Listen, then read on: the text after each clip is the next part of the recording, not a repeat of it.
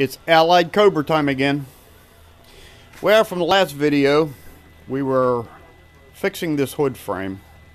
Needed tweaked and shortened and narrowed to fit inside the hood opening. We got all that done. Sandblasted, epoxied, the whole deal. Made the inner frame support for the hood skin.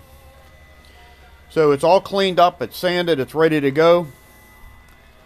Riveted to the original hood frame from 2575.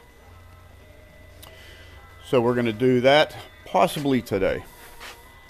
We have this all cleaned up, ready to go.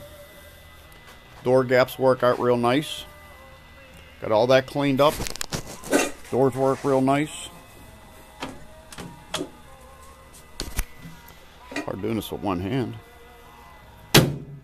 They work real nice. Got all this cleaned up. Just put some uh, foam rubber in there just to kind of simulate what's going to be in there to get the hood level the same as the uh, fenders and the rest of the body. So we're getting there. It's uh, it's been a long road, but it's getting closer all the time.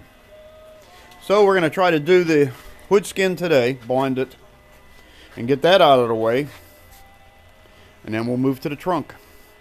Hopefully to get this thing on the road this summer. Thanks for watching. See ya.